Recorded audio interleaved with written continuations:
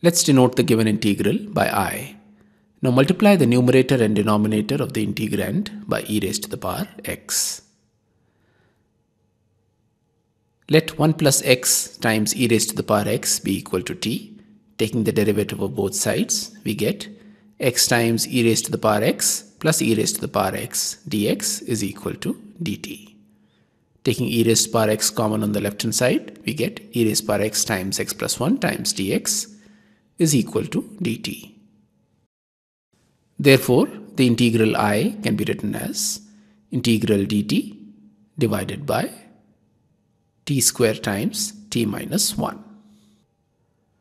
Now let 1 upon t square times t minus 1 be equal to a upon t plus b upon t square plus c upon t minus 1 where a, b and c are constants to be determined.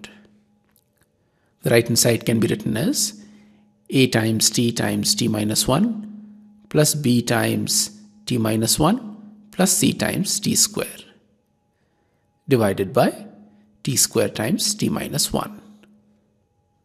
This can be rewritten as a plus c times t square plus b minus a times t minus b divided by t square times t minus 1.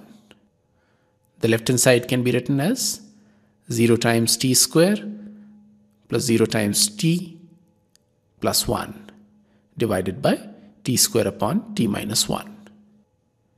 And this is equal to the right hand side a plus c times t square plus b minus a times t minus b divided by t square upon t minus 1.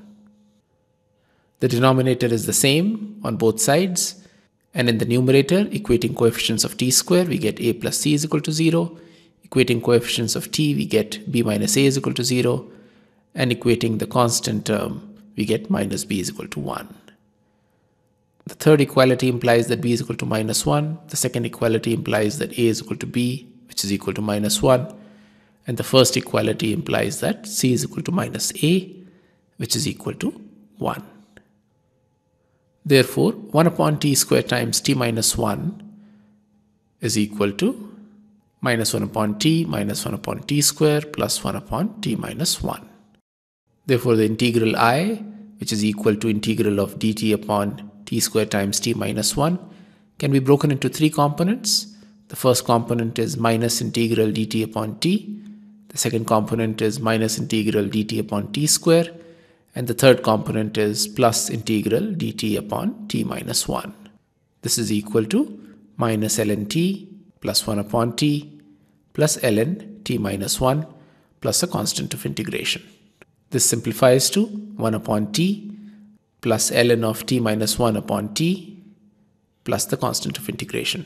Substituting the value of t, i is equal to 1 upon 1 plus x times e raised to the power x plus ln of x times e raised to the power x divided by 1 plus x times e raised to the power x plus the constant of integration.